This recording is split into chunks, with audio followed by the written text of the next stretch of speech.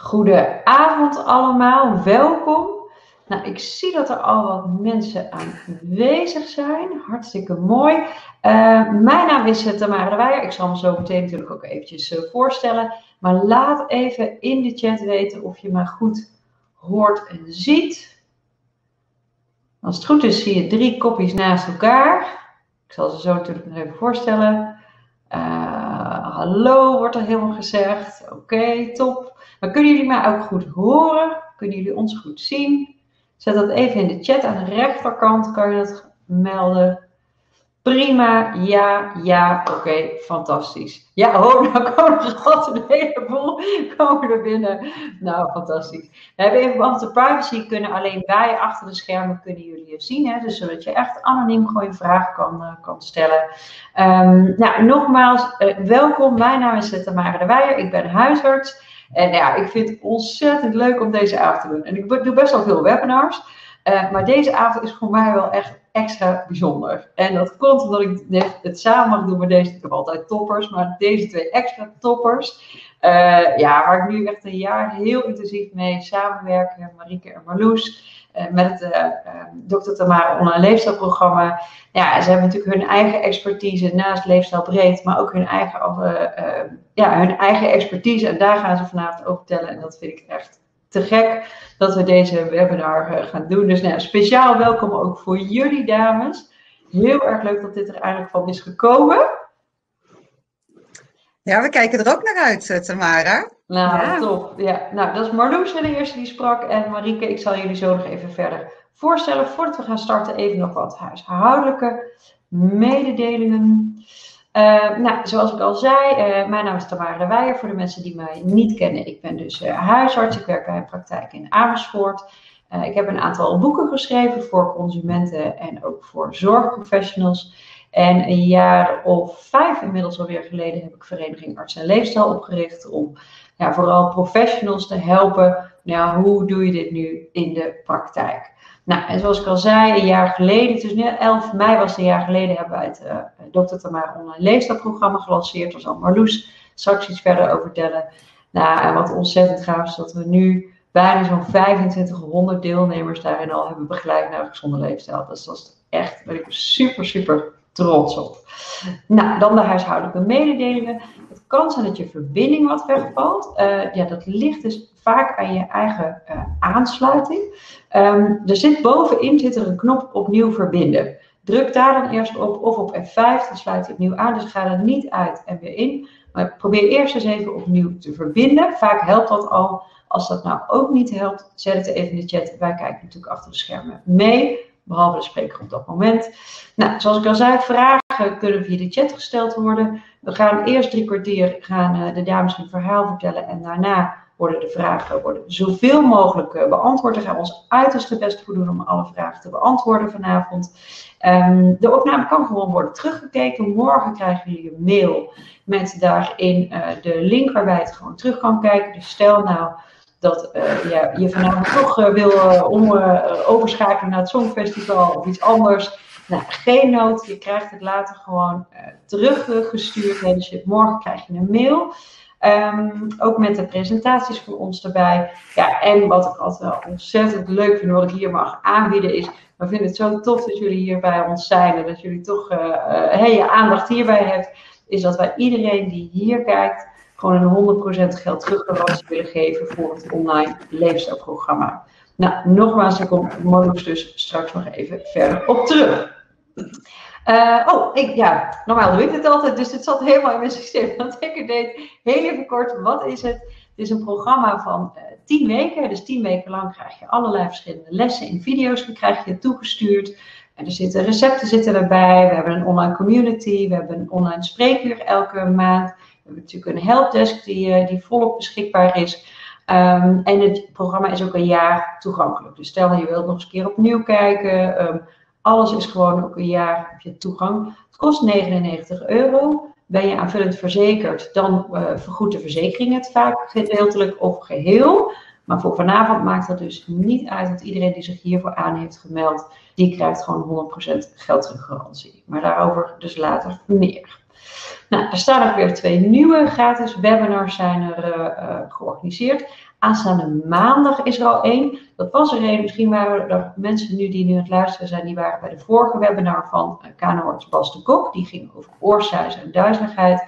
Nou, dat bleken toch twee zo'n grote onderwerpen te zijn, met zoveel vragen, ja, dat hij eigenlijk ook niet goed toekwam aan duizeligheid. Dus we hebben gezegd, nou, die wordt verplaatst naar 24 mei, dus die is aanstaande maandag.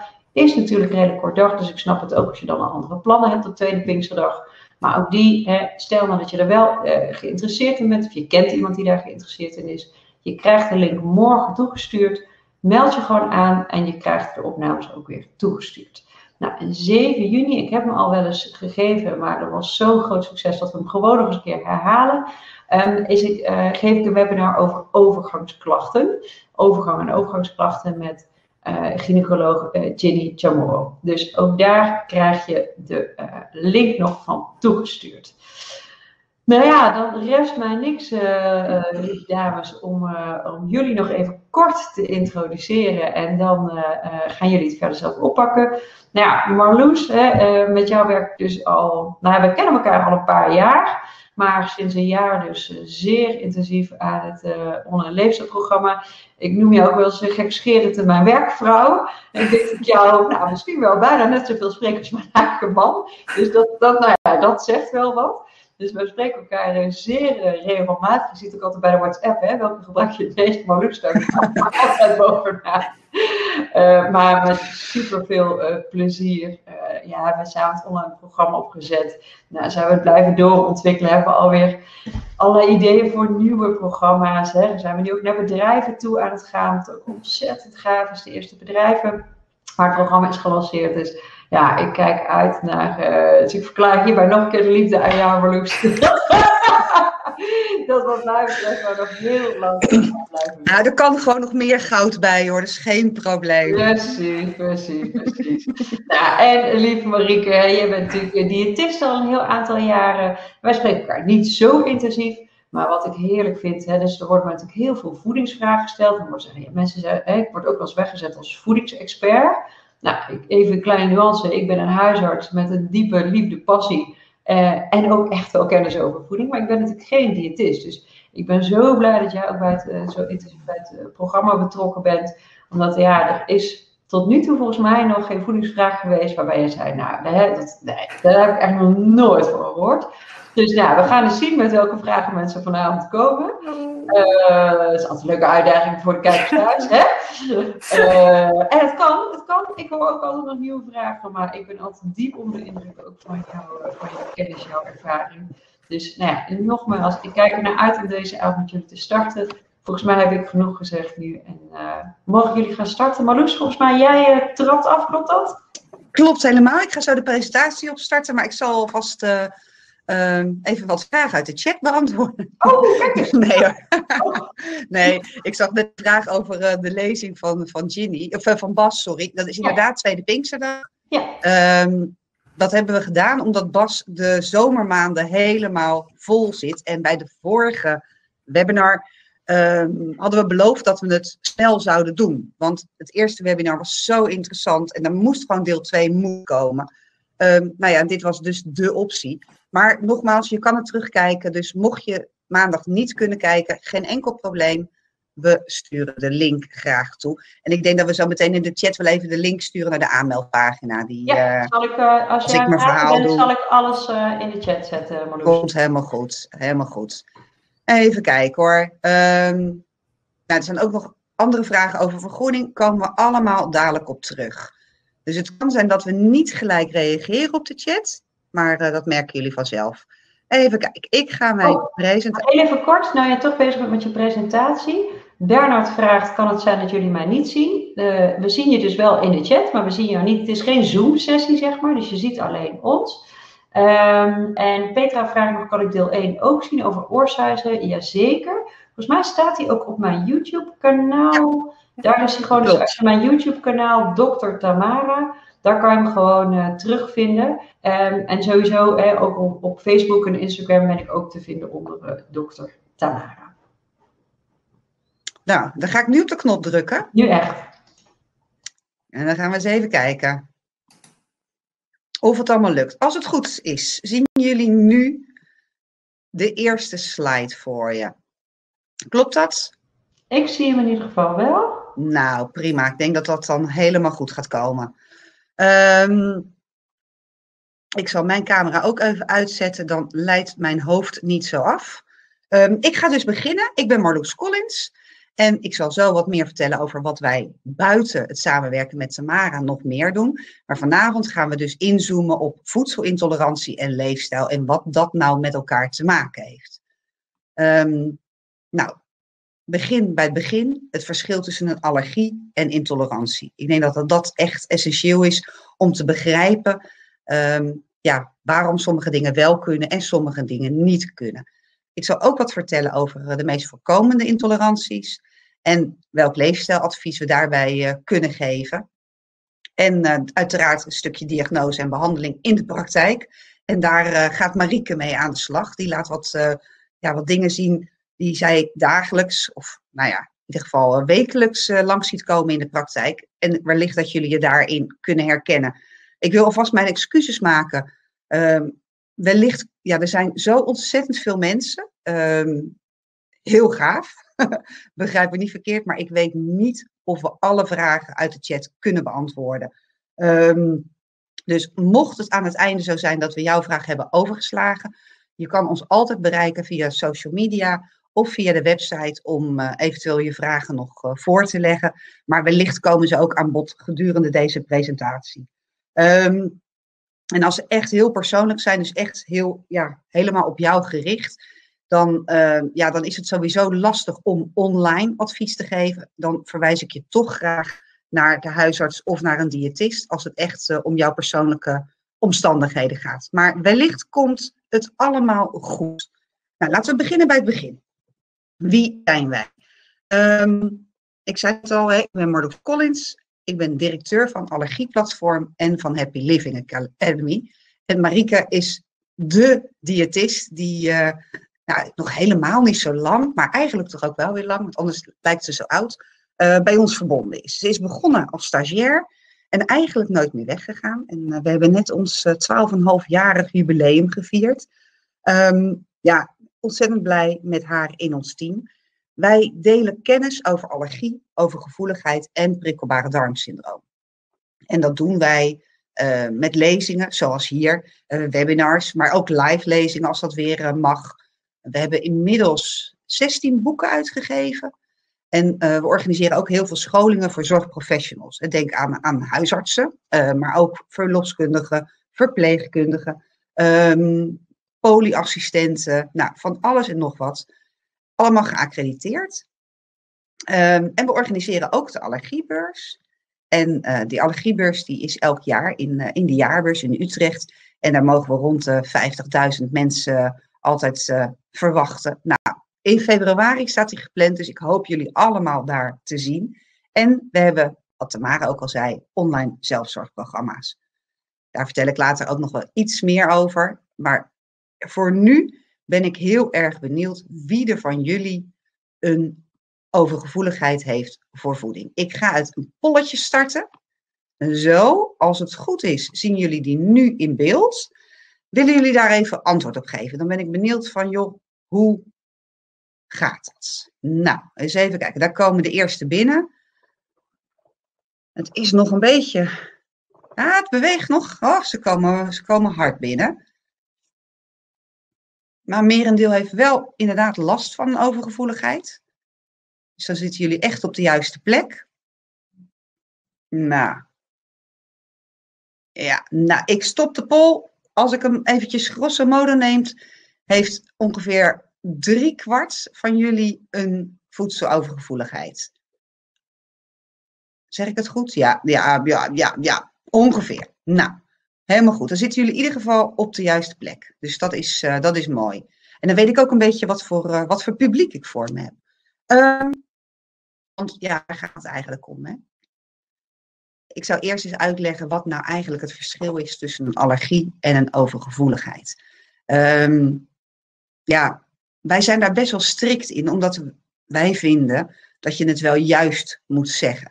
Um, we zijn een, ja, wetenschappelijk onderbouwde informatie delen. Dan kan je niet zeggen, uh, als je een intolerantie hebt, dat je het over een allergie hebt. Want de regel is, zit er geen eiwit in, dan is het geen allergie. Er zitten in pollen eiwitten, uh, er zit in koemelk eiwitten, dus dan kan je spreken van een allergie. Um, een eiwitten bedoel ik niet een kippen-eiwit mee, maar echt een eiwitstructuurtje. Nou, in gluten bijvoorbeeld, of in suiker, daar zit geen eiwit. Um, dus je kunt geen allergie hebben voor suiker of voor lactose. Um, dus als je iemand dat hoort zeggen, ja, kan je ze corrigeren. Je hebt een overgevoeligheid en geen, uh, geen uh, allergie. Nou, hoe kan je dat nou zelf een beetje inschatten? Um, als je een reactie hebt binnen twee uur na het eten of drinken of opsnuiven van iets, dan is het vaak een allergie.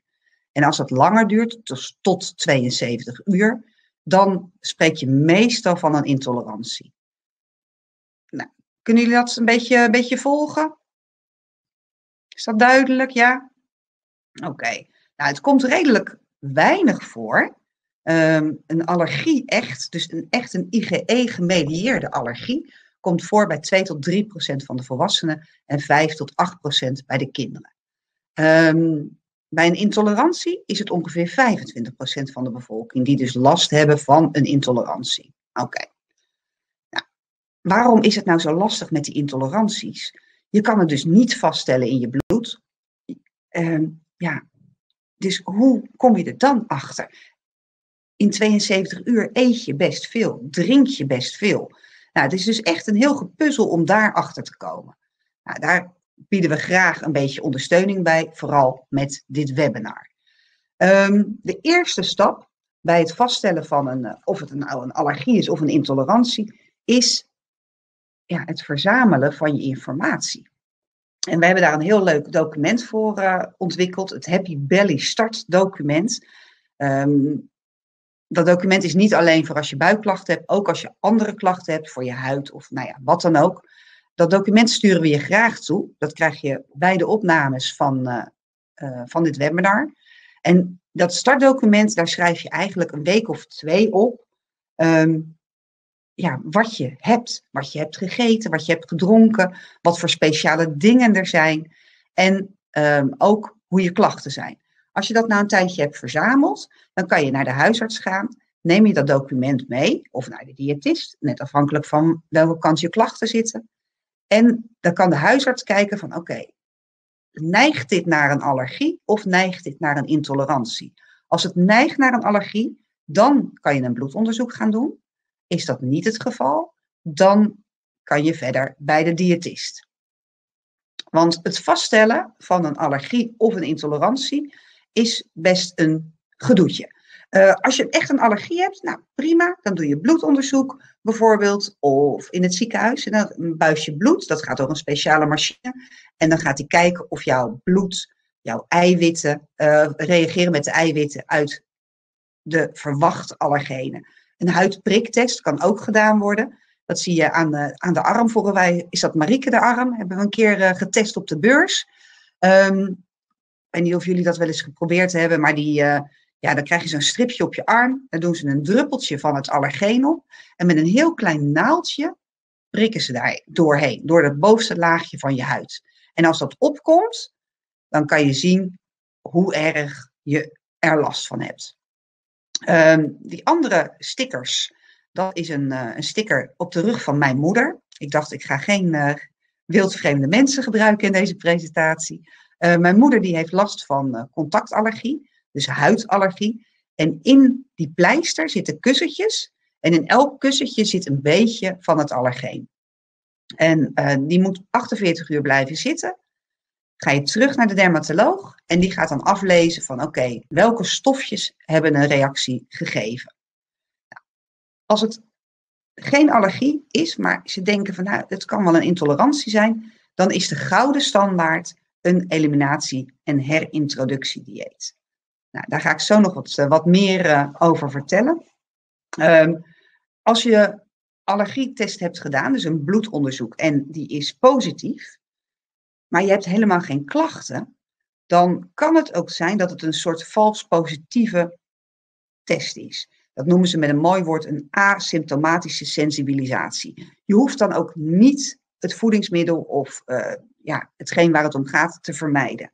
Als je een positieve test hebt en wel klachten, dan bij een allergie moet je het, ja, waar het om gaat, moet je echt vermijden. Je, het kan zijn dat je er elke keer hetzelfde last van hebt, maar het kan ook zijn dat je er steeds meer last van kan krijgen. Dus bij een echte allergie is de enige oplossing helaas op dit moment 100% vermijden. Nou, dat kan natuurlijk niet met alles. En met pollen is dat best lastig. Uh, de hooikortseizoen, het graspollen uh, beginnen weer uh, flink te bloeien. Nou, je kan een mondkapje buiten dragen. Ehm, nu is het helemaal niet raar om het te doen. Ook tegen de pollen. Dus het kan best zijn dat je dan minder klachten hebt. Ehm, maar pollen vermijden 100% is heel erg lastig. Hetzelfde geldt voor huisstofmijt, is ook heel erg lastig. Maar met voeding is het wat, ja, het is wel een gedoe, maar het is wel te doen. Bij een intolerantie, als dus je een negatieve test hebt, maar je hebt wel klant, klachten, dan heb je vaak last van een intolerantie. En dan moet je uit gaan zoeken hoeveel je van elk voedingsmiddel kunt eten. En dat doe je eigenlijk met een soort puzzeldieet. Want de bedoeling is dat je aan het einde uh, ja, weer eigenlijk alles kan eten, maar met mate. Om je klachten zo beperkt mogelijk te houden. Um, ja, kleine hoeveelheden zijn voor de meeste mensen met een intolerantie geen enkel probleem. Denk aan uh, als de ingrediëntenlijst, als het als laatste wordt genoemd. Bij een intolerantie kan je dat gewoon zonder problemen eten. Ook sporen van, geen probleem. Um, vaak helpt een goede leefstijl ook mee bij een intolerantie. Daar zal ik dadelijk nog iets dieper op ingaan. En soms kunnen enzymen ook helpen. En want die enzymen, die kom jij tekort. Nou, die enzymen kan je bijslikken. Nou, veel voorkomende klachten bij een intolerantie uh, zie je vooral bij de huid. Denk aan, uh, aan pultjes, aan jeuk, um, luchtwegklachten. En dat hoeft niet altijd benauwdheid te zijn, maar ook het opgeven van slijm of hoesten uh, kunnen echt wel ja, duiden op een, op een allergie. Um, en ook het maag-darmkanaal komt ja, natuurlijk veel voor. het kan heel ver gaan. Diarree, opgezette buik, krampen, noem het allemaal maar op. Bij een intolerantie komt anafylaxie niet voor. En een anafylaxie, dat wil zeggen dat, uh, dat je echt zo heftig reageert op het stofje, dat je bloeddruk gaat dalen, uh, dat, je, dat je slokdarm gaat dichtzitten, dat je haast geen lucht meer kan krijgen. Nou, bij een intolerantie komt dat niet voor. Bij een allergie kan dat wel voorkomen. En dan is het natuurlijk heel erg belangrijk dat je een EpiPen hebt. Uh, die waarschijnlijk als het uh, vastgesteld is, krijg je die ook van de huisarts. Vergeet die alsjeblieft nooit mee te nemen. En uh, ja, hou hem altijd bij de hand. Want het, eh, je zal maar net nodig hebben als je hem, als je hem niet makkelijk kan pakken. twijfel ook niet bij het, als je denkt van, goh, ja, misschien heb ik wel een reactie. Zet die injectie in je been. Want ehm, ja, het kan alleen maar erger worden. So far, is het allemaal helder? Ik zie wel een aantal vragen langskomen. Ik heb er al stiekem een paar behandeld. en er komen er ook zo nog een paar uh, binnen. Maar even een check of het allemaal duidelijk is. Ja, oké, top. Nou, wat komt nou vaak voor aan intoleranties? Um, lactose zien we heel veel. Nou, dat zit natuurlijk in melk. En dan denk je, nou weet je, dan laat ik de koemelk staan. Ik ga over naar geitenmelk. Dat heeft niet zo heel veel zin. Want in alle dierlijke en menselijke melkproducten zit lactose. Dus in moedermelk zit lactose. In geitenmelk, ezelinnenmelk, maakt allemaal niet uit. Alleen is het wel zo dat bepaalde melksoorten makkelijker verwerkt kunnen worden door je darmen. Dus het kan best zijn dat je meer last hebt van koemelk dan van bijvoorbeeld geitenmelk. Uh, er zit niet dan de lactose in, maar het verwerken is best een beetje lastig. Um, even kijken. Ik zit, ja, ik zit gelijk mee te, mee te lezen, dat jullie niet denken van, uh, wat, waar, waarom val je even stil? Er is niks met je geluid. Maar ik zat even mee te gluren. Gluten, dat komt natuurlijk ook heel veel voor. Nou, daar heb je een aantal soorten van. Um, gluten als je daar echt niet tegen kan, dus dat je darmen er kapot van gaan, dan spreken we vaak van celiakie. En dat is een auto-immuunziekte. Dat is dus geen glutenintolerantie. Het lijkt er natuurlijk wel heel veel op. Ehm, maar het lijkt eigenlijk dan meer op een allergie. Want als je celiakie hebt, mag je helemaal nul gluten eten. Zelfs geen spoortje. Die moet je echt vermijden. Je maakt als je dan gluten eet, je darmen echt kapot. Um, uiteraard kan je wel overgevoelig zijn voor gluten. Um, en ja, dat is vaak het geval bij mensen die last hebben van hun darmen. Gluten zijn best wel moeilijk om te verwerken, uh, maar meestal heeft het te maken met de fructanen. Daar vertel ik over twee stapjes meer over. Um, als je denkt van, goh, ik, uh, ik heb last van gluten.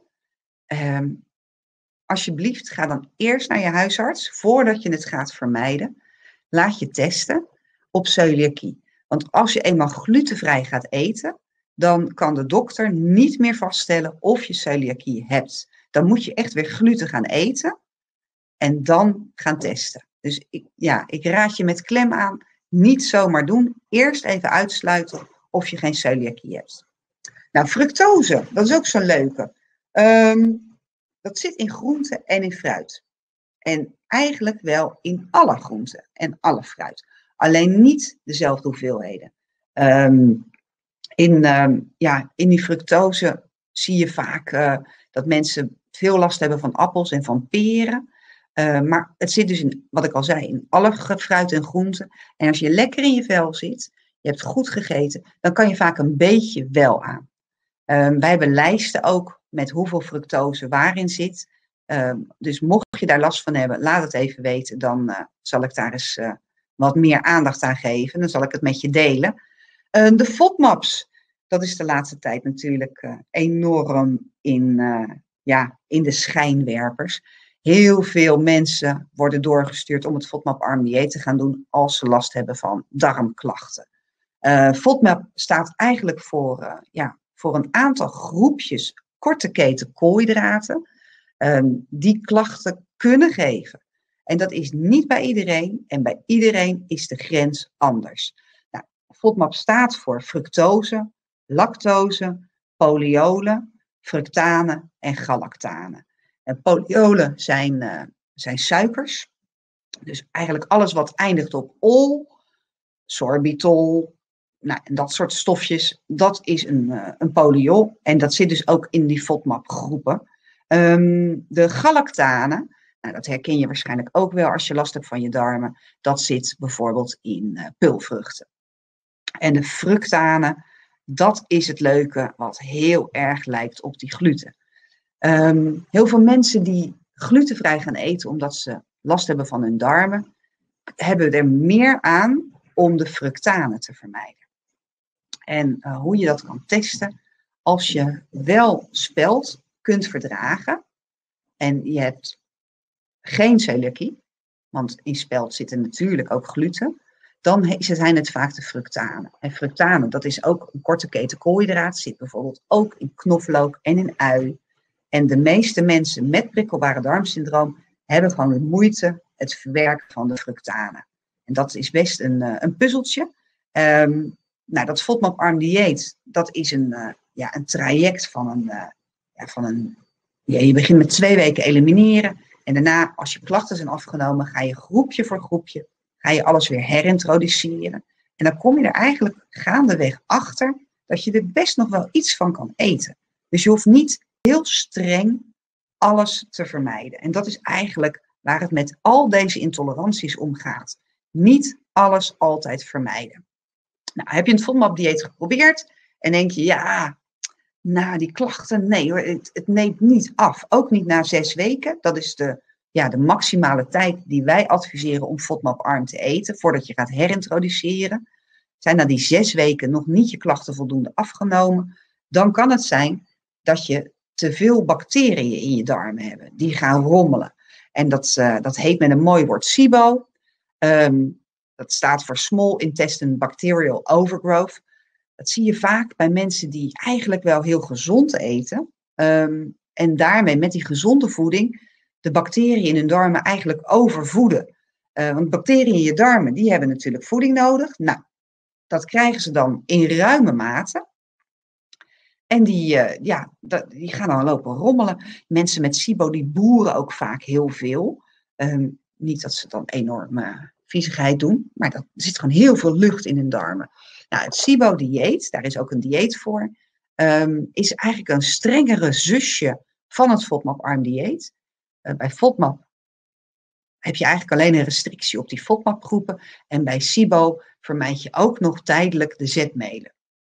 En uh, dat is dus een wat strenger dieet, een wat langer dieet. Maar ik hoor ook heel veel mensen die daar echt enorm van opknappen.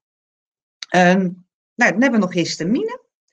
Dat is ook een hele leuke. Dat zien we vaak bij, uh, bij vrouwen ja, vanaf de overgang. Um, in de darmen wordt histamine afgebroken. Histamine zit in voeding, het wordt aangemaakt door voeding, maar het wordt ook aangemaakt door je eigen lichaam. Dus histamine vrij eten, dat kan niet, dat bestaat niet. Um, histamine heb je nodig ook voor de goede werking van je hersenen. Um, maar ja, waar is jouw grens? Wanneer loopt jouw badkuip over?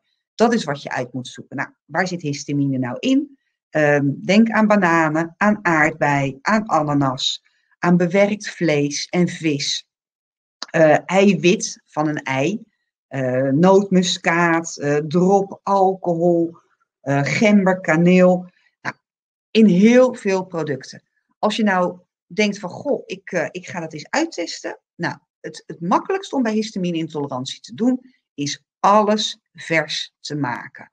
Um, dingen die je, ook al is het maar een middagje laat staan, dus het, uh, of een, een, een avond, in, je, je hebt je prakje op en uh, je hebt nog een restje over. Dat eet je de volgende dag bij het ontbijt. Als je histamine-intolerantie hebt, moet je dat niet doen. In die tijd gebeuren geen enge dingen met je eten, maar in je prakje worden ja, wat meer histamine vrijgemaakt. En dat is uh, niet aan te raden als je daar dus klachten van krijgt. Dan loopt jouw badkuipje dus gelijk over. Nou, en de laatste die wij heel veel zien, dat zijn kruisreacties bij hooikoorts. Um, ik denk, ik, zag zo de vragen langs schieten. Nou, het is mij overduidelijk. Daar zitten echt heel veel mensen met hooikoorts bij. Um, Marieke en ik die staan uh, altijd op de beurs, op de allergiebeurs.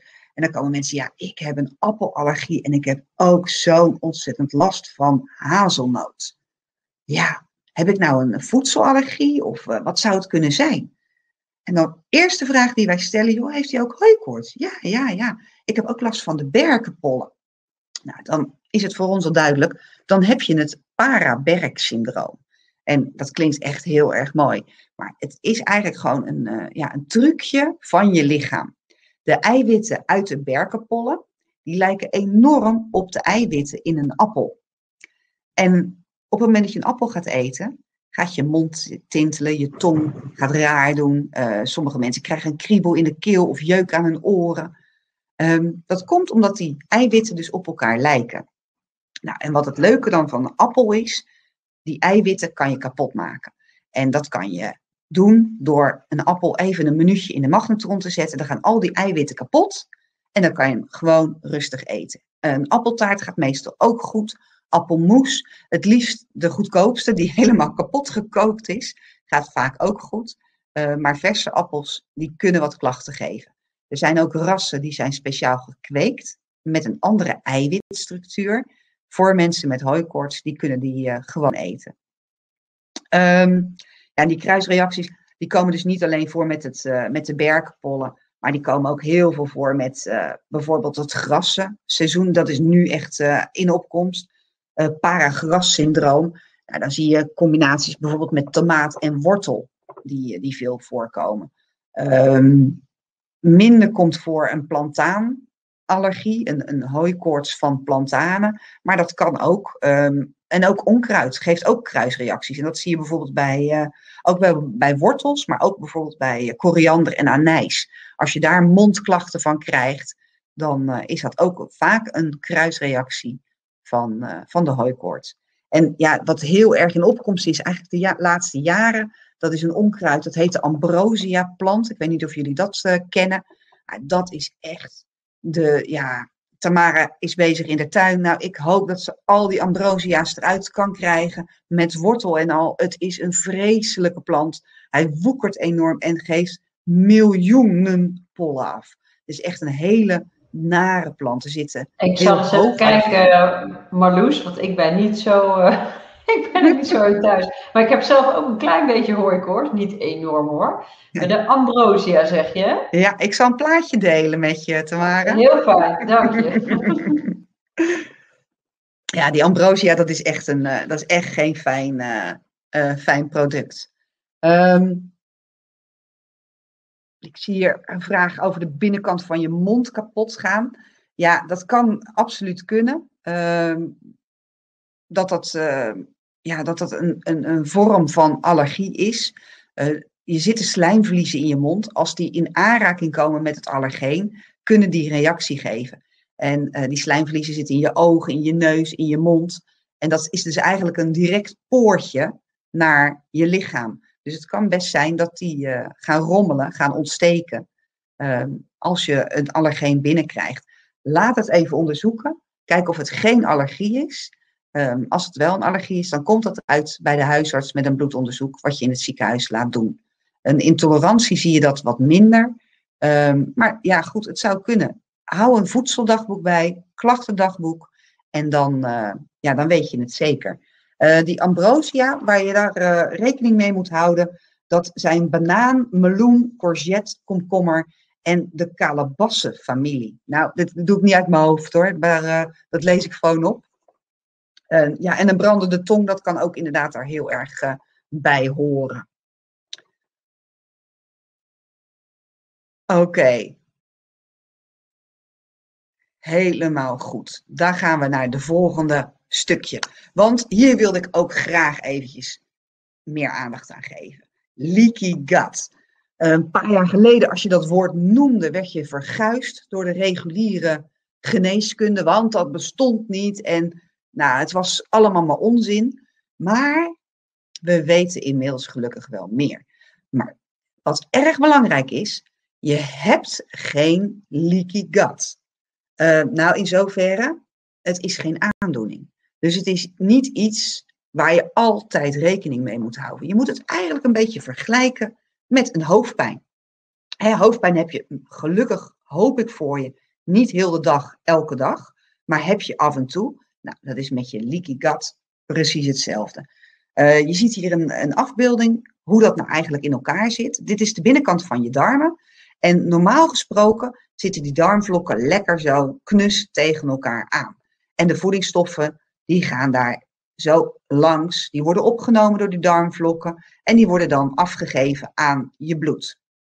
Bij een leaky gut zijn die darmvlokken, die hebben een beetje ruzie met elkaar, die staan een beetje uit elkaar. Ja, en dan krijg je dus het probleem dat je darmwand, dat de voedingsstoffen gelijk naar je darmwand gaan. En dat kan dus echt wel vervelende klachten geven. Maar gelukkig, net als bij hoofdpijn, is daar wat aan te doen. Je moet gewoon zorgen dat je genoeg afwisseling hebt in je dieet. Dus niet te, streng en te lang een dieet volgen.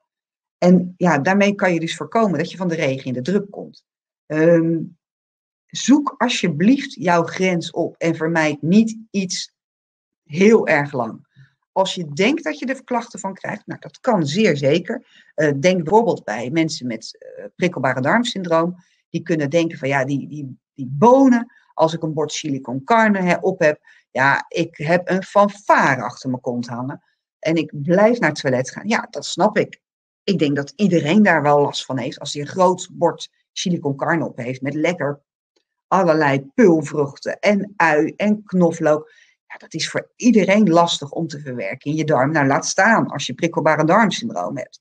Maar je hebt tegenwoordig hartstikke mooie van die leuke potjes, die kleine glazen potjes met peulvruchten.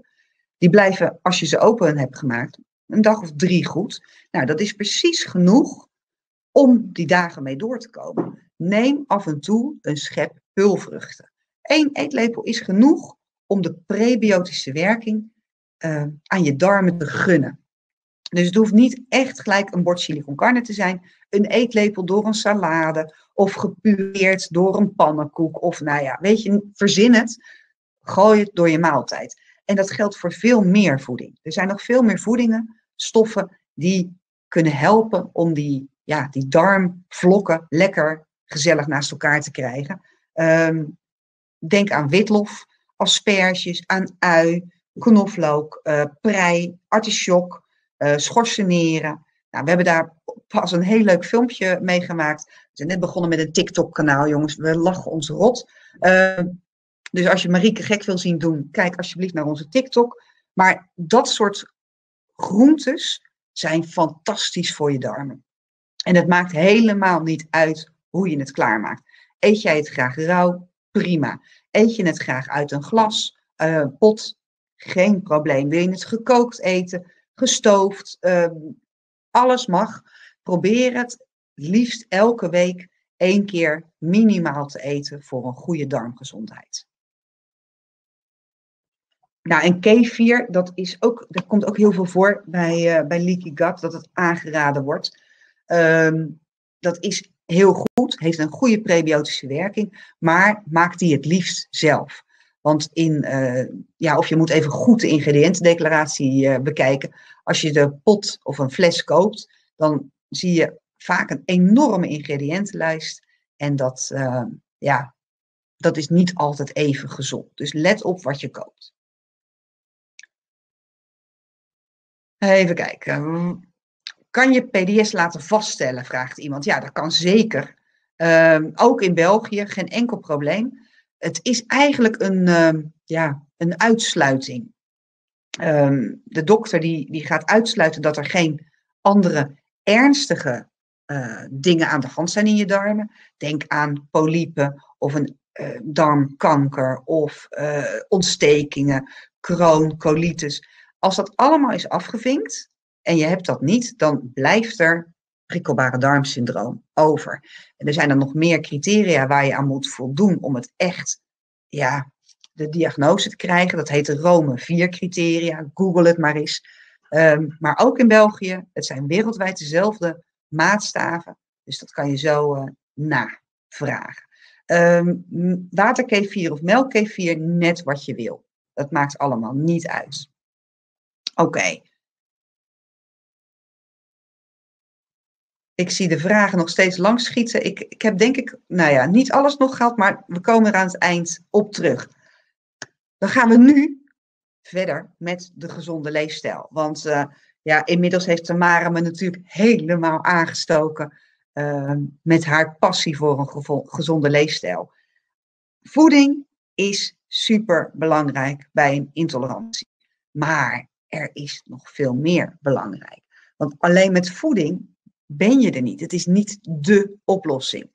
Um, de oplossing is om zoveel mogelijk te eten. Verschillende stoffen, verschillende dingen. Gezond, snel gemaakt, niet bewerkt. Nou, noem het allemaal maar op. Alles wat kan, tot jouw grens. Hè? Want ja, wat je eigenlijk moet doen met zo'n intolerantie is erachter komen hoeveel je van iets kan eten en waarom. Omdat je dan bewust kunt kiezen of je iets wel of niet wil eten. Uh, ga je naar een restaurant? Dat mag weer. Ga je naar uh, vrienden? Ga je daar eten? Uh, dan kan je kiezen of je uh, iets wil eten. Of dat je denkt van nee, het is mij die buikpijn niet waard. Of die huidklachten niet waard. Maar je weet in ieder geval wat er gebeurt. Dus je komt niet meer voor een verrassing te staan. En dat is zo waardevol. Je weet, oké, als ik dit ijsje nog neem als toetje, of deze cappuccino als afsluiting van de maaltijd, dan weet ik dat ik rond 10 uur vanavond even naar het toilet moet gaan.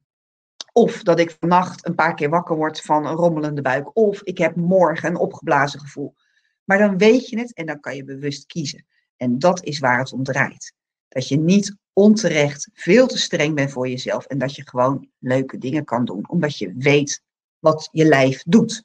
Um, nou ja, gezonde leefstijl, voeding is dus niet het allerbelangrijkste. Uh, beter slapen is ook heel erg belangrijk bij een intolerantie. Want als je lekker geslapen hebt, dan word je gezond wakker, vrolijk wakker.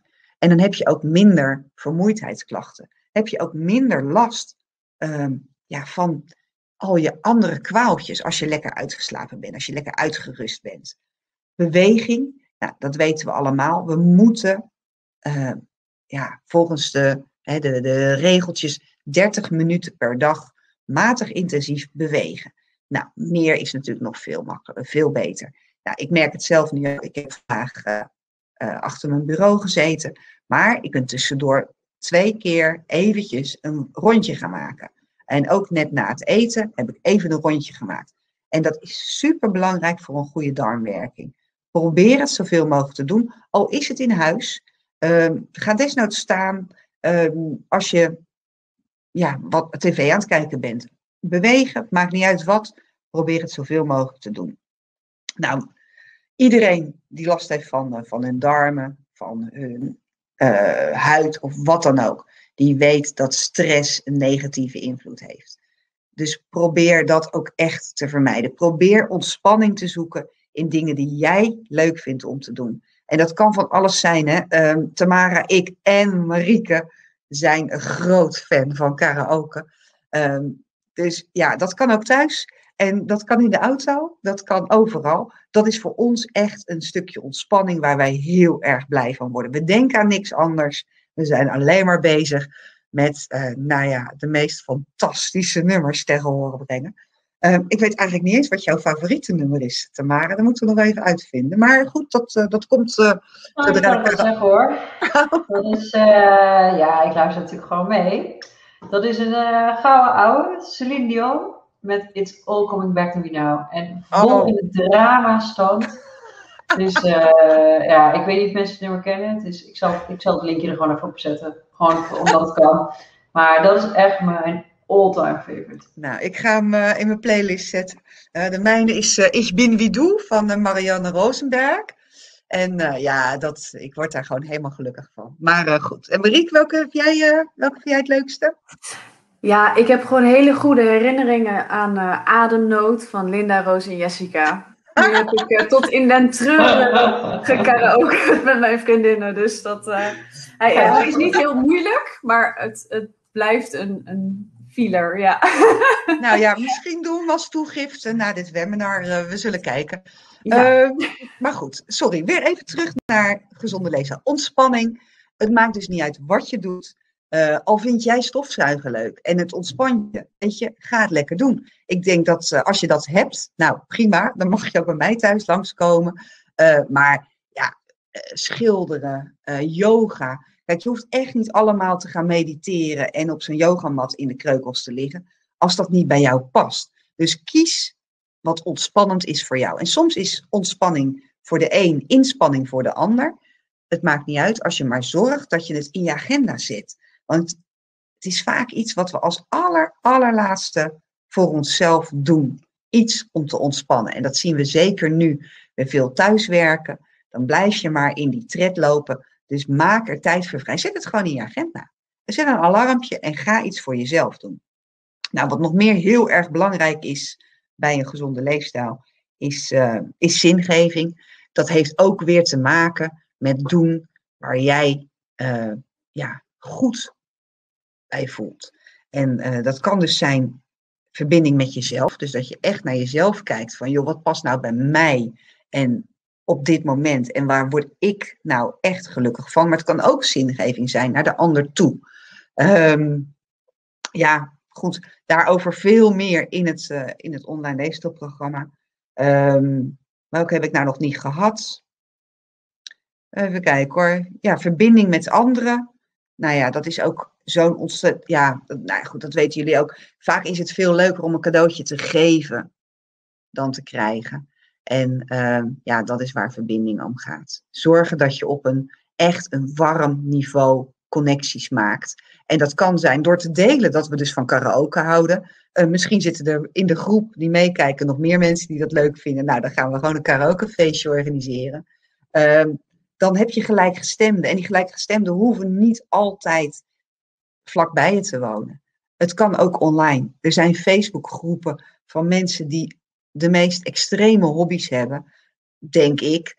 Maar ja, misschien voel jij je daar helemaal goed bij. En kan je zo lid worden van een clubje. Ehm, nou ja, goed. eh, dus of je nou van punniken houdt, karaoke of, eh, of dansen. Ja, Lia, dat zou ook zo kunnen. Ehm, weet je, zoek mensen op die daar ook van houden. Ze zijn er en ze zijn zeker online makkelijk te vinden. Nou, met al die gezonde ja, dingen die bij die leefstijl horen, merk je dat als dat eenmaal goed op orde is, dus je eet goed, je beweegt goed, je doet voldoende ontspanning, je slaapt lekker, je hebt verbinding, je hebt zingeving, dan merken we dat een groot deel van de, ja, de klachten bij een voedselintolerantie al een beetje zijn afgenomen. En misschien hoef je dan helemaal niet meer een dieet te gaan volgen. Maar dat is aan jou. Dus werk eerst aan je leefstijl. Ehm, dat is eigenlijk wat ik jullie voor vandaag wil meegeven. Dus heb je het idee dat jouw leefstijl nog kan verbeteren? Nou, ga dan absoluut even kijken bij het leefstijlprogramma met, uh, wat we met dokter Tamara hebben gemaakt. Um, de link die zetten we zo echt wel in de chat. Want als je dat lekker als eerste stap gaat doen en dan zijn misschien al je klachten over, of veel minder, dan hoef je niet de volgende stap te nemen om een heel specifiek dieet te gaan volgen. Tot zover was het mijn verhaal. En dan ga ik nu een slokje thee nemen. En ik denk dat Marieke het stokje van mij over gaat nemen. Klopt dat? Ja, ik, uh, ik ben er gewoon. Dus ik hoop ook dat ik goed, uh, goed te verstaan ben. Uh, nou ja, ik heb echt genoten van je verhaal weer, Marloes. Het is niet voor mij natuurlijk nieuwe kost, maar ik vind het altijd weer fijn om, om jou erover te horen praten. Want dan denk ik altijd van, oh ja, wat, wat komt toch veel voorbij, ook inderdaad met de allergiebeurs. En uh, wat, wat ja, horen we toch ook altijd veel verhalen van mensen. Um, ja, ik ga eigenlijk alleen maar praten over de verhalen of eigenlijk de problemen of klachten die ik van mensen te horen krijg. Nou, zoals ik al uh, ben geïntroduceerd natuurlijk, ja, ik ben diëtiste. Uh, ik werk inderdaad al 12,5 jaar met Marloes, maar uh, ik ben dus ook al nou, ruim tien jaar uh, werkzaam gewoon in de eerste lijn. Dat betekent uh, als mensen bijvoorbeeld via de huisarts bij een diëtist komen, komen ze bij mij. Ik werk niet in het ziekenhuis. Ja, en daar kom ik ook natuurlijk van alles tegen. En ook daar loop ik tegen het gepuzzel aan. Um, want dat is ja, waar ik mijn puzzels doe, eigenlijk in de praktijk. Dus uh, ja, ik, ik ga er inderdaad wat uh, over vertellen aan de hand van casussen. Dat betekent, um, nou, ik heb een cliënt en ik vertel, nou, wat uh, zijn daar de problemen van geweest of de klachten en hoe hebben wij, of hoe heb ik geprobeerd die cliënt te helpen. En ja, dit, dit doen we ook vaak onderling als professionals met elkaar. En nu doe ik het dus, um, ja, uh, voor jullie, eigenlijk misschien wel uh, ook mijn, mijn cliënten, om maar zo te zeggen. Ja, in de praktijk uh, ga ik dus samen met mijn cliënten puzzelen. Um, ik werk, nou ja, ik, ik werk op verwijzing vaak van ook huisartsen die bijvoorbeeld iemand gezien hebben met klachten.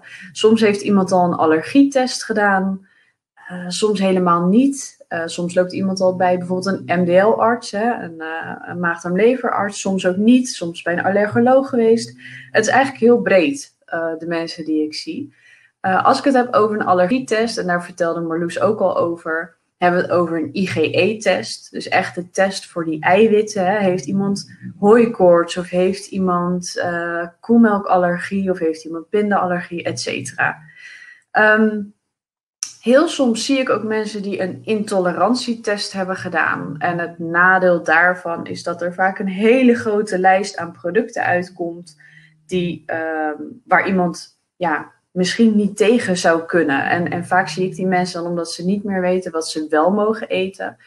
Nou, zo'n intolerantietest, een IgG-test, is ja, niet bewezen, betrouwbaar, vaak heel duur. Um, en het toont eigenlijk niet aan of je daadwerkelijk klachten ergens van hebt. En ja, mijn grootste advies is altijd: als je geen klachten hebt, ja, moet je het dan vermijden. Want dan kan je natuurlijk een heleboel vermijden aan de hand van, uh, van testen. Um, dus ook, ja, eigenlijk met, met alle soorten testen is het altijd de vraag: heb je er klachten van en hoe gaan we er dan mee om? Nou, wat, wat het doel is, hè, dat um, als mensen bij mij komen met klachten, dan hoop ik ze te kunnen helpen om juist zoveel mogelijk wel te kunnen blijven eten. En ja, waarom dat zo belangrijk is, is wat Marloes al zei. Hè? Alle voedingsstoffen of, of voedingsmiddelen hebben ook een, uh, ja, een nut eigenlijk in het lichaam. Uh, het kan uh, vitamines of mineralen leveren, eiwitten, bouwstoffen, antioxidanten. Dat zijn een soort schoonmaakstofjes in het lichaam. maar het helpt dus ook heel goed voor de darmgezondheid. En daar zijn Marloes en ik heel erg in thuis. Wij werken inderdaad, wij, wij zijn al jaren ook gespecialiseerd in prikkelbare darm en diëten daarbij. En ons advies blijft: eet zoveel mogelijk wel. Want het is zonde om uh, ja, eigenlijk te veel weg te laten.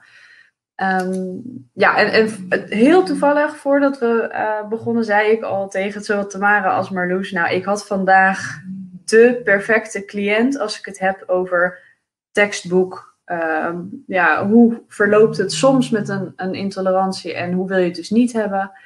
Uh, een mevrouw die al 15 jaar uh, buikpijnklachten heeft, uh, vooral diarreeklachten eigenlijk. En ja, zij werkt op een gegeven moment, oh, ik kan niet zo goed tegen knoflook, is dat gaan weglaten. Uh, nou, toen een keer ui ging ook niet goed, et cetera, et cetera. En dat is eigenlijk een soort visueuze cirkel geworden waarin ze steeds meer is gaan weglaten. De klachten gingen niet over. Um, en nu zegt ze, ja, ik, ik kan de deur niet uit, want ik heb nog steeds diarreeklachten. En dusdanig heftig dat ik dus ook echt niet, uh, niet onderweg durf te gaan. In ja, uh, deze tijd ook dat je kunt niet overal zomaar een toilet gebruiken. Ze zegt, ik durf het niet. En ik eet eigenlijk nog maar drie soorten groenten. Uh, en uh, witbrood, dat gaat soms goed, maar bruin brood kan ik niet meer eten. Dus ja, wat moet ik nu? Hoe moet ik nu verder? Ja, en, en dat is echt een risico. Steeds meer weglaten en daar wordt die darm en het lichaam niet gezonder van. Hè? Dus dat is wel een beetje het moraal van het verhaal, dat je juist niet onnodig moet vermijden. Um, wat Marloes ook al aangaf, hè, is, is altijd een streng dieet nodig? Nee. Ik zie veel cliënten die komen bij de huisarts uh, van Nano van de maagdarm-leverarts. En daar hebben ze besproken van, nou, misschien is het FODMAP-dieet iets voor mij. En die melden zich van, nou, ik, um, ja, ik wil graag het uh, FODMAP-dieet doen. Of ik moet het FODMAP-dieet doen voor mijn arts. Of er is mij geadviseerd. Ja, en, en um, ik spreek natuurlijk niet voor alle diëtisten, maar ik zelf zeg dan altijd: oké, even een stapje terug. Laat ik eerst eens kijken naar uw eetpatroon, naar uw leefstijl hè, misschien zijn daar wel uh, positieve aanpassingen aan te doen, waardoor die klachten al veel minder worden. En ja, mocht dat allemaal niet lukken, uh, dus dan hebben we gekeken naar vocht, vezels, gevarieerd eten, uh, beweging. Is iemand ontspannen? Heeft iemand last van stress? Nou, is dat allemaal helemaal in orde? Kunnen we altijd nog een strenger dieet gaan volgen? Dus nou, dat is een beetje mijn basis. En dan wil ik nu eigenlijk gaan naar ja, de casus. Marike, ja? mag ik jou uh, vragen om toch je sheet, uh, of om toch je beeld aan te zeggen? Want mensen zeggen, ja, het is nu wel een beetje onpersoonlijk zo. Dus zou jij okay. je beeld toch aan willen zetten? Mensen kijken ja. naar je. Oh, nou hallo. hallo. Dankjewel. Ja, nee, dat kan natuurlijk. Um, ik zit lees soms een beetje te, te, lezen, omdat ik dan soms een beetje uh, switch naar de chat. Maar ik, ik doe eigenlijk niet, uh, uh, tijdens mijn kaasbespreking laat ik de chat wel even voor wat hij is. Dus hopelijk vinden mensen dat niet erg. Um, ik zie het nu inderdaad ook zien. Kunnen Marieke haar, haar gezicht ook zien? Of een nieuwe sheet. Ja hoor, dat mag. de puzzel was niet, niet vermakelijk. Nou, mijn eerste casus, en ik wil het ook een beetje uh, ja, interactief proberen te maken. Het is wat lastig omdat er zoveel mensen reageren in de chat, maar ik wil toch af en toe ook uh, jullie mening heel graag horen. Um, nou, deze mevrouw, dit is uh, Reineke, een gezonde vrouw, kwam bij mij omdat ze elke ochtend veel buikklachten had. Um, ja, ze kwam eigenlijk bij mij met een positief verhaal. Hè. Ik, nou, ik leef heel gezond. Uh, het gaat hartstikke goed verder met me. Ik, uh, ik eet graag uh, allemaal gezonde dingetjes. Ik, ik, ik doe aan yoga. Misschien zoals je ziet op de foto, zie, zie je ook links van haar een yogamatje. Um, dus ja, beweging, voeding. Ik denk dat het goed gaat, maar ik heb buikklachten. Ja, zelf had zij gehoord dat, um, ja, dat die, die darmklachten die zij had beetje uh, ja, onprettig gevoel, kramperig, uh, dan toch ook wel wat diarreeklachten. Misschien wel kwamen door lactose. Nou, dus uh, wat had zij zelf al gedaan voordat ze bij mij kwam? Is dat zij lactosevrij was gaan eten. En nou, wat houdt dat in? Hè? De yoghurt die zij at nam bijvoorbeeld lactosevrij. Ook de uh, melk gebruikte ze niet veel, maar als ze dat dan dronk, of ze deed bijvoorbeeld door een cappuccino, nam ze een plantaardige vervanger. Zoals een sojamelk of een amandelmelk.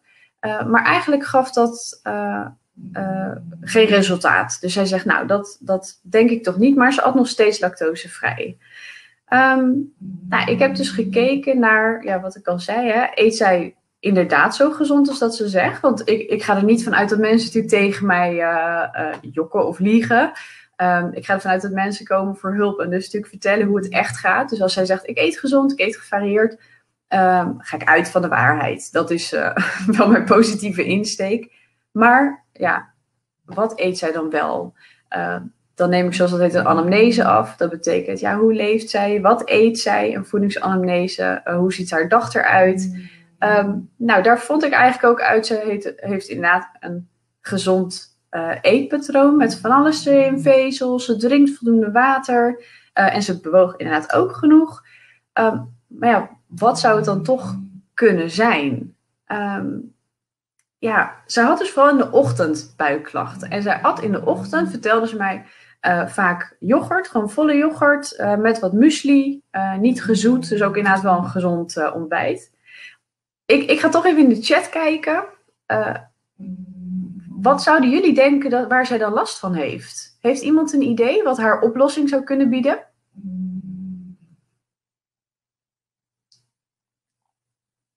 Ik spreek heel even.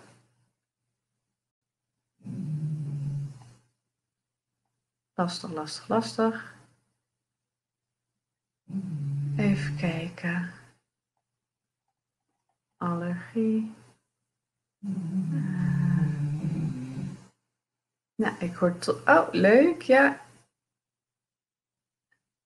Stress, koffie, te vetten. Marieke? Ja? Ik weet dat je nog een aantal andere casussen hebt, maar mag ik jou vragen in het kader van de tijd, want we zitten inmiddels op 9 uur, om het bij deze casussen te laten. Want er zijn zo ongelooflijk veel vragen. Ik heb denk ik nog nooit zoveel vragen in de chat gezien als vanavond. Dus Zal ik anders gewoon snel even... De... Ik ben ze al beantwoorden, oh, Tamara. goed. Oh, wat goed, Marloes. Wat ik wel kan doen, zal ik ze anders gewoon even vertellen. Dan maak ik ze minder interactief. Dan, dan kost het wat minder tijd dat ik ze gewoon even, even wat sneller doorloop. Is dat misschien... Sorry, en één ding moet ik heel eventjes... Tina zegt, ligt daar een hond te snurken? Ja, ja. goed gehoord, Tina. Ze hebben ja. wel vaak van die uh, wedstrijden van het geluid. Je hebt hem, uh, je hebt hem geraden, Tina. Fantastisch. Ja, ja, sorry. Ik heb een uh, bejaarde Engelse bul en zij snurkt heel hard. En ik kan roepen en gillen nu wat ik wil, maar ze gaat niet wakker worden. Dus inderdaad, de prijs gaat naar, Tina, inderdaad. Um, maar Tamara, is dat een idee dat ik ze gewoon even snel doorloop, de, de casussen? Perfect. Ja. Gewoon even, doe ik even, heel snel krijgen jullie een plaatje bij in gezicht. Wat bij Reineke, mijn cliënt hier, vooral het probleem bleek te zijn, geen intolerantie, geen allergie, maar zij had gewoon ehm, ja, eigenlijk een gevoelige maag en, en darmen. Um, ik heb haar geadviseerd om s'morgens vroeg niet ijskoud te ontbijten. Want ze nam wat de yoghurt zo uit de koelkast. En als zij dus last had van uh, de gewone yoghurt, om eens te proberen of geiten, uh, geitenyoghurt of schapenyoghurt beter zou verteren. En dat was inderdaad een verlichting voor haar. Um, daarbij heeft ze misschien ook nog wat andere kleine dingen aangepakt. Maar eigenlijk was vooral dat ijskoude ontbijt Um, en toch de verteerbaarheid van de koemelk was voor haar maagdarmen wat, wat zwaar. Dus dit is eigenlijk een voorbeeld van het hoeft niet altijd een echte allergie of intolerantie te zijn. Het kan ook gewoon een gevoeligheid zijn voor de maag en darmen. Nou, dit is een leuke jonge knul, uh, Thomas. En die uh, kwam op aandringen van zijn moeder.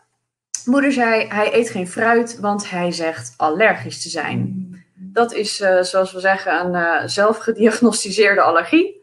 Um, dat kwam omdat hij uh, pijn had, uh, vlekkerigheid rondom de mond, uh, schrale mond, branderige tong. na het eten van appels en peren. Dus hij at geen fruit meer. Hij vond dat wel een makkelijke oplossing.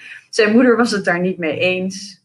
nou zoals al in Marloes haar verhaal ook ter sprake kwam, dat bleek een kruisreactie te zijn. Dus ik heb de klachten aangehoord, zijn medische geschiedenis bekeken, voeding nagevraagd, verder geen allergieklachten.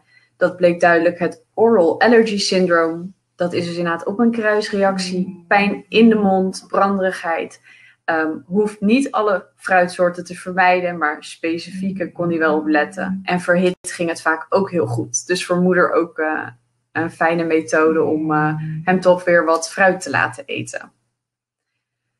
Um, deze lieve oudere dame uh, heet Els. Het zijn natuurlijk geen echte namen of, of, of, cliënten die ik hierbij gebruik, maar um, oudere dame kreeg ook last van appel en peren. Maar meer maag-darmklachten. En ik heb deze naast elkaar gelegd, omdat eigenlijk de, het voedingsmiddel waar dus de klachten van waren, zijn hetzelfde. Appels, peren, maar een heel ander lichaamsgebied. Dus maag-darmklachten, opgeblazen gevoel, winderigheid, krampen, stoelgangklachten.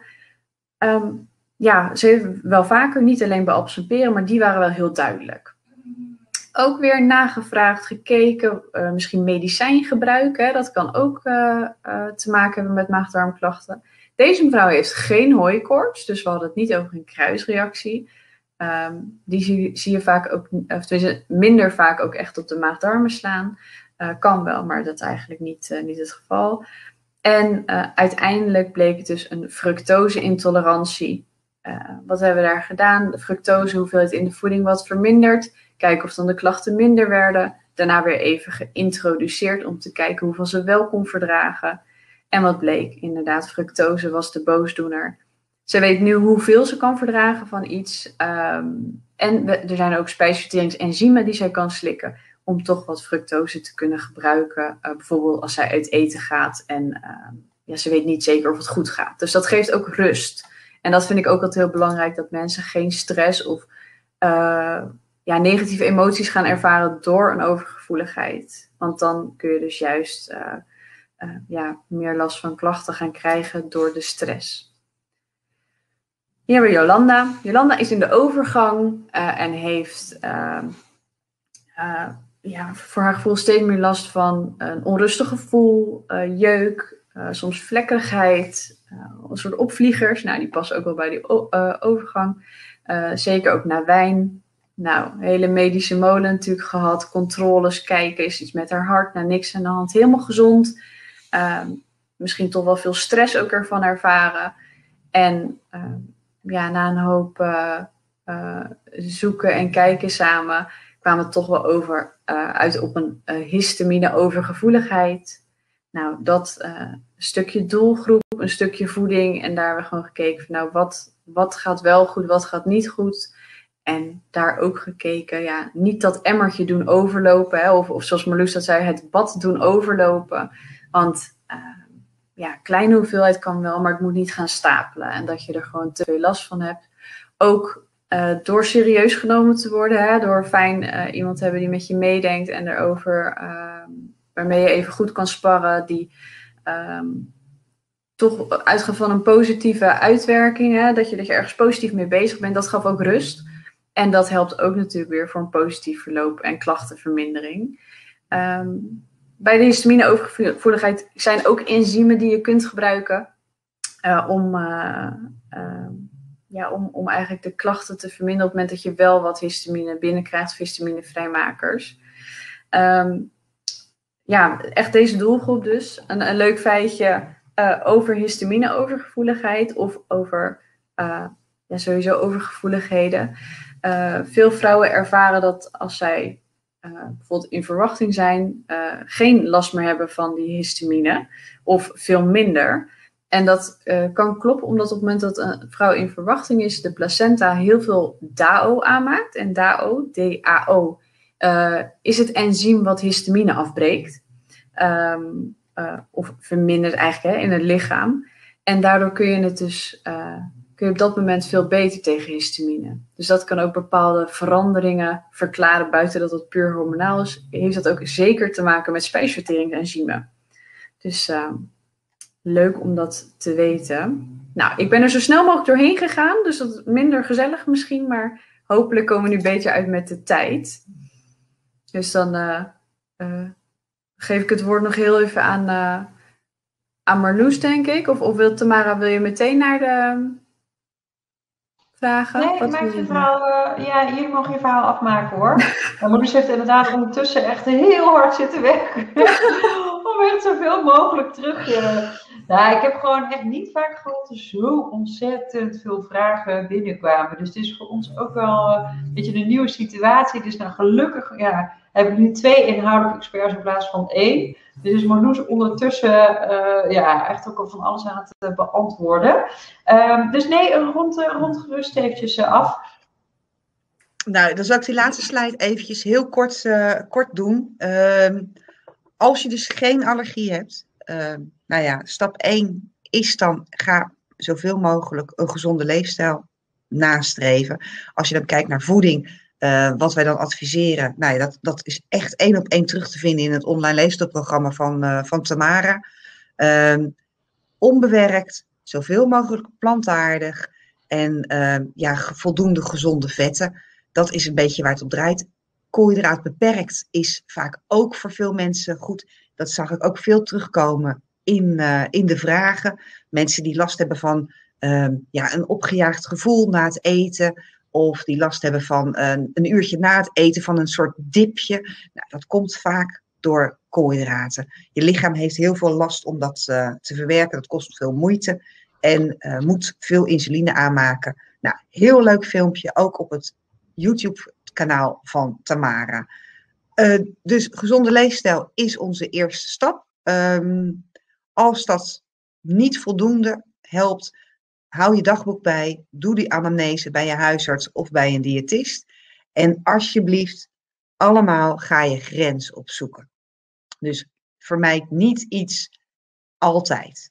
Nou, dan komen er nu weer allemaal vragen over, eh, over wat zijn dan de gezonde vetten en wat zijn die fructanen nou allemaal. Ja, Eh, Marloes, ik ga Ja, gezonde vetten, dat mag jij doen, hè? Nou, want normaal gesproken ben ik degene die de hosting doet en de vragen stelt vanuit de chat. Maar het is nu zo door elkaar heen allemaal. Dat Marloes, volgens mij ben jij degene die nog het beste doorheeft wat nu wel of niet beantwoord is.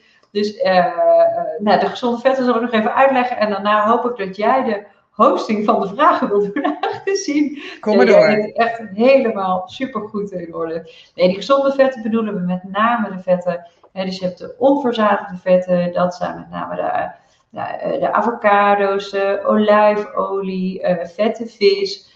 Ehm, hè, dus dat zijn natuurlijk echt de hele gezonde vetten waarvan, daar is ook niet veel discussie over. Dan heb je nog de verzadigde vetten, nou de transvetten, daar is ook niet de discussie over. Hè. Dat zijn echt in kant-en-klaar maaltijden, pakjes, zakjes. Daar is ook niet zo de discussie over. De discussie is vaak over het verzadigd vet. En eh, wat we eh, denken nu is dat er een, eh, en dat zit met name in vlees, maar dat zit ook bijvoorbeeld in volle zuivel, volle kaas. Ehm, als je kijkt naar de laatste stand van de wetenschap, is dat er toch zelfs binnen verzadigd vet ook daar weer een scheiding in is. En dat je de volle zuivel uit, of sorry, de, volle, de, de eh, verzadigde vetten uit zuivel niet kunt vergelijken met die van bijvoorbeeld vlees. Dus dat volle zuivel, daar is eigenlijk niet zoveel bezwaar mee. Maar grote hoeveelheden vlees, wisten we eigenlijk al, en zeker bijvoorbeeld rood vlees, ja, daar proberen we echt toch eh, echt wel van af te blijven. En daarom zul je die dus ook niet terugvinden in het eh, online leefstijlprogramma. Oké. Nou, lieve dames, eh, we hebben nog een kwartier. eh, take it away, zou ik zeggen. Nou, dan gaan we niet redden. Dus excuses. Ik had het bij voorbaat al gezegd, maar nu ook nog eh, nu. Ehm, krijgen, ja, als ik eventjes echt, ik ga niet helemaal naar beneden scrollen, want daar heb ik volgens mij al redelijk wat behandeld. Ehm, de fructanen. Marieke, misschien kan jij nog even in het kort uitleggen wat fructanen zijn en wat dat met gluten en darmklachten te maken heeft. Dan moet je wel je geluid aanzetten. Mag ik, ik had even de hond uitgefilterd in dit gesprek. Ehm fructanen zijn eh, eh, eh, ja, een soort koolhydraten. En dat, zeker onder het FODMAP-dieet is dat een van de koolhydraten die je ehm, ja, kunt elimineren om te kijken of daar de klachten vandaan komen. Dus het is gewoon eigenlijk een soort van stofje wat in diverse voeding zit. Dus het is niet echt iets wat alleen in fruit of alleen in groente zit. Zoals Marloes al zei, zit dat onder andere in knoflook, in ui, maar ook in bijvoorbeeld uh, granen. En daar zit vaak de fout dat inderdaad um, glutenvrij en fructanevrij door elkaar gehaald wordt. Fructanevrij is niet echt een bekende term, of fructanearm. Um, in glutenbevattende granen, zoals bijvoorbeeld tarwe, zitten ook fructanen. En als je dan dus buikpijn krijgt van iets waar tarwe in zit, hoeft dat niet aan de gluten te liggen, maar kan het aan de fructanen liggen. En ja, daar gaat het dus vaak fout. Marloes had ook al uitgelegd over spelten. Uh, spelten wel gluten, maar minder fructanen. Dus als dat goed gaat, dan weet je van nou, dan moet ik toch eens uh, naar de fructanen gaan kijken. Helder. Ja. Ja, er komt ook nog uh, wat uh, over die zuivel, als je daar last van hebt. Dat het ook, hè, dat hoeft niet altijd koemelk, eiwit of een lactose-intolerantie te zijn. Het kan ook een caseïne-probleem uh, zijn, het verwerken van de caseïne in, in melk.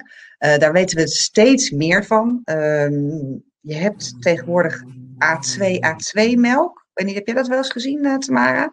Nee, ligt bijvoorbeeld ook bij de Albert Heijn. Um, en dat is een, uh, ja, een, een, iets andere. Ja, het komt of van een andere koe of het is iets anders verwerkt. En daar zitten andere eiwitten, of caseïne-eiwitten in. En sommige mensen met prikkelbare darmsyndroom kunnen dus niet zo goed tegen normale melk, maar wel tegen die A2, A2-melk. Dus je zou het kunnen proberen. Als je een koemelkallergie hebt, dan niet, want dan ja, er zit net zoveel eiwitten uh, in de ene melk en in de andere melk, maar dat is wel een, uh, een idee om het op die manier uh, te testen. Um, kan het zijn als je celiakie, als die nog niet hersteld zijn, dan kunnen er allerlei andere intoleranties tijdelijk zijn. Nou, net als bij die leaky gut, um, ja, probeer het uit. Het meeste wat samengaat is lactose. En dus als je net celiakie hebt en je hebt nog heel veel klachten, ook al eet je glutenvrij, uh, probeer dan ook lactose eventjes uh, achterwege te laten. Ik wil nog even één vraag aan, aan jullie, want ik heb die ook wel vaker gehoord, ook in mijn praktijk. En als ik denk dat dit uh, is misschien een oude patiënte van mij, dus als jij dit bent, dan weet jij over wie ik het heb. Ze vraagt, um, ik eet geen gluten en zuivel en ei, dan gaat het redelijk goed, maar ik krijg wel darmklachten en obstipatie. En dat hoor ik inderdaad wel vaker als mensen dus geen gluten, met name geen tarweproducten en zo, dat ze met name die niet oplosbare vezels uh, missen, dat mensen toch wel last krijgen van darmklachten en obstipatie. Horen jullie dat uh, vaker en wat kan je daarbij adviseren?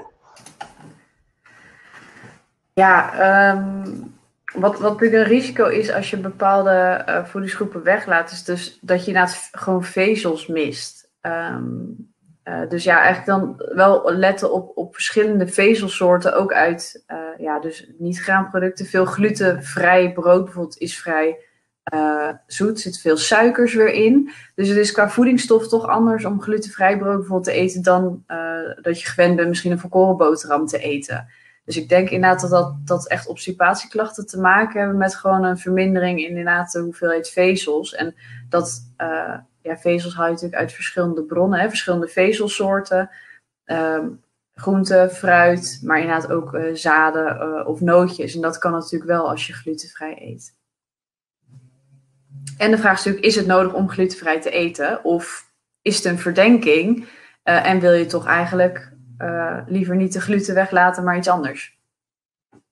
Ik ben allemaal ja. ook weer wat uh, antwoorden terug aan het type hoor. Dus uh, ga vooral uh, lekker door. We hebben drieën. Nee, over die, over die, ja, wij, wij adviseren dus eigenlijk zelden glutenvrij te gaan eten, behalve als je celiakie hebt. Um, je kan tarwe weglaten. Weet je, als je daar last van hebt, prima. Probeer een andere graansoort. Sommige mensen hebben bijvoorbeeld last van uh, juist de, de, de, vezels die iedereen aanraadt. Dus ja, goed, hè, volkoren producten, rijst, uh, volkoren rijst, uh, volkoren pasta. Sommige mensen hebben daar juist last van. En die doen het veel beter op minder heftige vezels. Dus het is echt puzzelen wat bij jou past. Maar glutenvrij eten is, nou, 99 van de 100 keer niet de oplossing. Nee. En niet nodig. Dus dat uh, adviseren we echt alleen bij celiakie te doen En eh, als je het FODMAP Arm dieet bijvoorbeeld doet, is het handig om dan een glutenvrij pak pasta te pakken in die eliminatiefase. Maar eigenlijk daarna zo snel mogelijk weer volwaardig gaan eten en je grens opzoeken.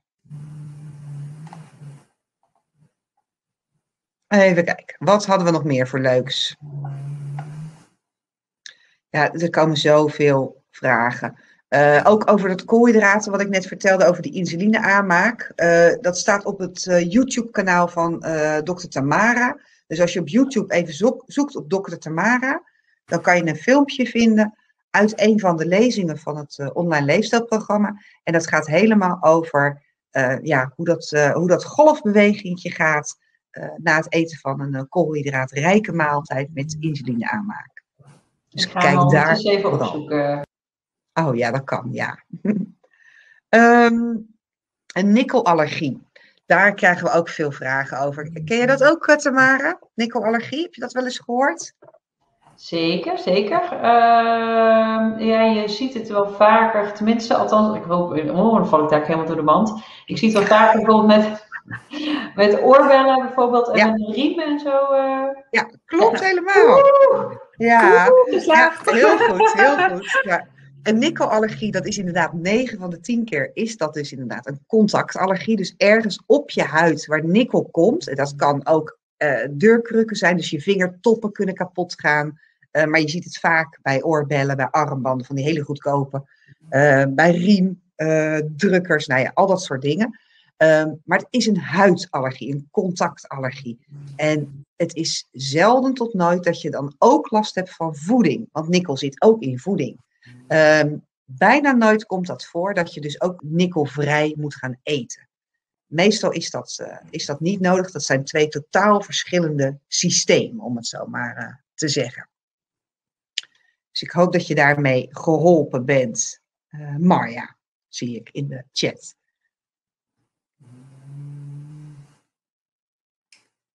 Even kijken. hele verhalen over, uh, over Guusje, de, de boel. Ja. um, kan je het FODMAP-dieet doen als je colitis hebt of Crohn? Nou, zeker. Um, colitis of Crohn wordt er niet beter van. Absoluut niet, want die ontstekingen kunnen we niet weghalen. Maar wat we bij het FODMAP-dieet uh, proberen, is uh, van mond tot kont uh, te zorgen dat die spijsvertering fantastisch gaat lopen. Dus als je dan een ontsteking hebt, dan ja, is eten natuurlijk niet zo fijn. Want je, je, ja, je doet eigenlijk je darmen, uh, daar komt weer zo'n berg eten aan. Nou, bij het FODMAP-dieet zorg je er dus voor dat je darmen rustig worden, waardoor je minder klachten kunt hebben van je colitis of je Crohn. Dus het is niet specifiek daarvoor gemaakt, maar het helpt wel heel goed. Want ja, ik kan me zo voorstellen, als jij uh, heel veel uien eet en je hebt een ontstoken darm, dan is het uh, pijn op pijn. Dus dat is uh, absoluut niet, uh, niet handig. Ja, even een kleine aanvulling, Marloes. Wat je vaak ziet is dat mensen met colitis en Crohn, die hebben ook heel vaak PDS. Dus het is vaak een combinatie. Dus vandaar dat het inderdaad zo effectief is. Ik zie best wel patiënten in de praktijk hiermee. En mijn ervaring is toch echt dat een groot deel van de mensen minder klachten krijgt. Dus is absoluut de moeite waard om in ieder geval te proberen wat het voor jou, uh, wat het voor jou doet. Ja, doe dit niks, dan zou het ook natuurlijk aan heel veel andere dingen kunnen liggen. Hè? Dus bijvoorbeeld ook uh, stress heeft er veel invloed op, slaap, of je wel of niet rookt. Maar ja, als jij een, een, een darmziekte hebt, probeer altijd gewoon met een goede begeleiding en je voeding aan te passen. Want het is echt de moeite waard om er naar te kijken. En al is het bijvoorbeeld als je Sommige mensen gaan 15 keer per dag naar het toilet voor diarree. En je gaat dan maar vijf keer per dag. Is toch qua kwaliteit is dat natuurlijk echt wel een enorme verbetering. Dus het is zeker de moeite waard. Ja, absoluut. Ja, ik zie hier ook vaak een vraag, of die zie ik al een paar keer terugkomen, van joh, hoe kan het nou dat ik op bepaalde voeding soms wel reageer en soms niet? Ja, Marieke, weet jij daar een leuk, uh, leuke draai aan te geven? Nou ja, zeker bij gewoon overgevoeligheden hebben allergie is dat natuurlijk niet zo als je het ziet.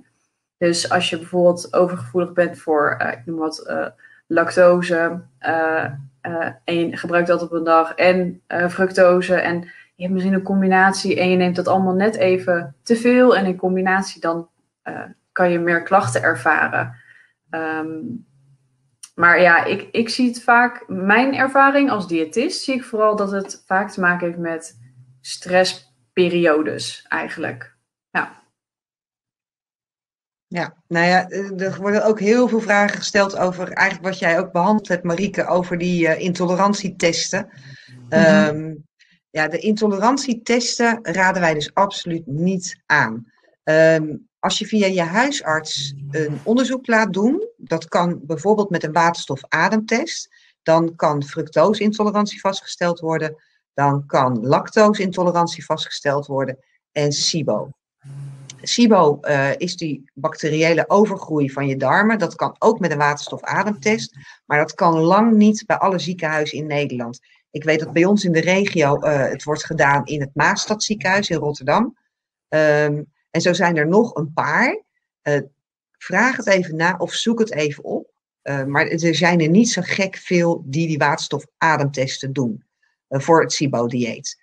wel de gewone lactose en de fructose, die wordt wel vaak gedaan. Um, kan je vaststellen. In eerste instantie wordt er meestal even een beetje gekeken naar je bloed.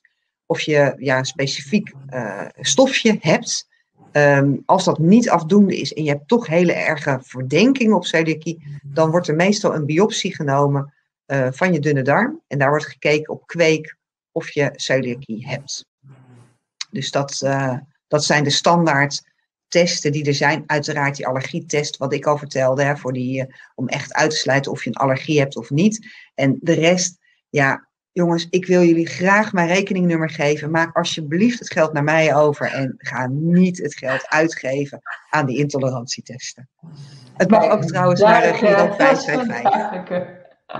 Ja, maar doe het niet. Weet je, het is echt, het zegt helemaal niks. Radar heeft daar uh, twee uh, onderzoeken naar gedaan. Het is ook ja, echt mijn passie. Ik word daar echt een beetje ja, vurig van. Um, Radar heeft twee onderzoeken gedaan, bijvoorbeeld met zo'n haartest.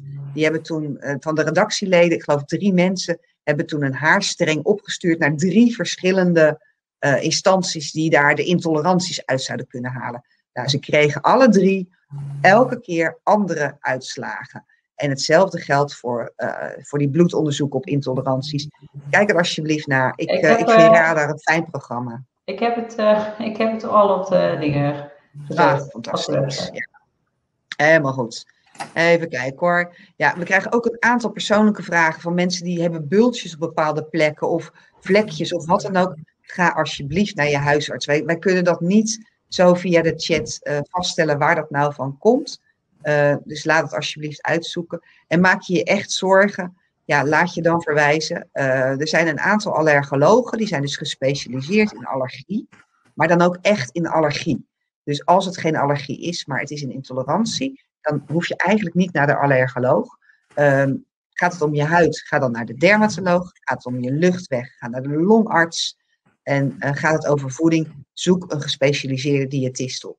Op onze website, uh, op Allergieplatform, hebben we een hele verzameling van diëtisten die gespecialiseerd zijn in voeding. Um, en ja, als je echt iets heel specifieks wil weten, stuur ons dan even een berichtje.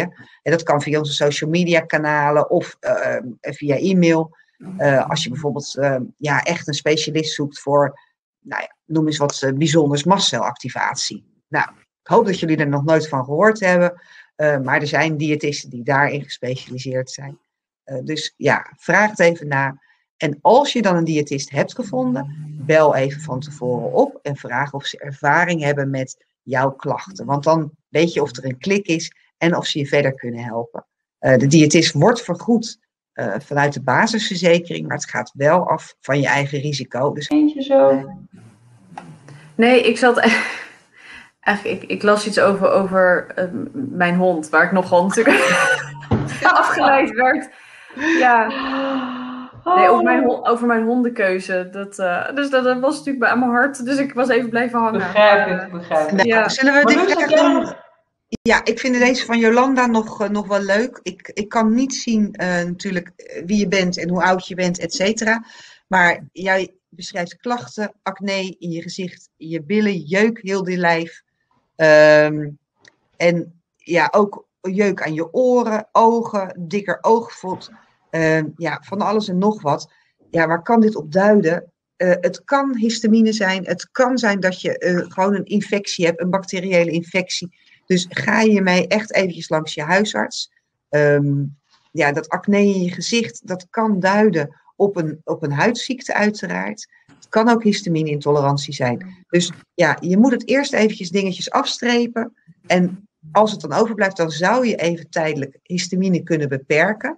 Dus even tijdelijk histamine beperkt dieet en kijken of je daarvan opknapt. Want dat is het mooie. Je kunt met een histamine beperkt dieet, eigenlijk met alle intolerantiediëten, kan je gewoon volwaardig eten. Het is dus niet zo dat je opeens alleen maar besjes mag eten en water mag drinken. Nee, je kan gewoon normaal eten. Alleen je sluit even bepaalde groepen uit die je daarna gaat herintroduceren. Nou, ik denk dat dat een mooi einde is. Het lijkt mij een fantastisch einde. nou, echt, ik wil uh, jullie ontzettend bedanken, uh, Marieke en Marloes. En natuurlijk alle kijkers. Echt bedankt voor jullie enthousiasme en alle vragen. En